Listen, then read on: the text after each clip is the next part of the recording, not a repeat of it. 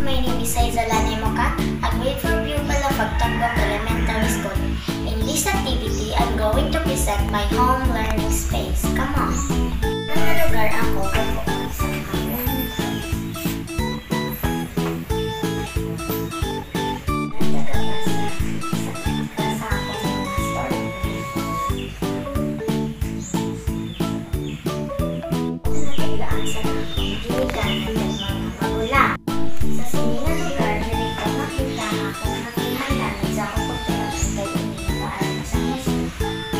Ako nga may home learning space diri sa balay kay pamatyag ko ara na nila po sa eskwelahan.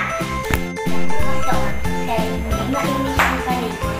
Kag hindi man, kag hindi malibig nagahatag sa si for learning. Namatid ako kay hindi natin gayon kag nakabulig sa amon bilang isang estudyante sa sinunod pandemya.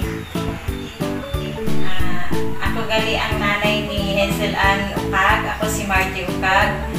Nagpapasalamat gid ako sa sining activities nga may home learning space sa DepEd nga gina ginapatupad sa mga estudyante para mahatagan ang, ang mga estudyante sa maayo nga pagplastar sa ilang pag, pagtuon pareho sini nga home learning space ang nagpapasalamat gid ako ay ang anak ko makatuon siya sa insakto kag maka-answer gid siya siya mga modules. Ginasuportahan man namon ang mga ginikanan para para man sa ilang ang pasdamdam.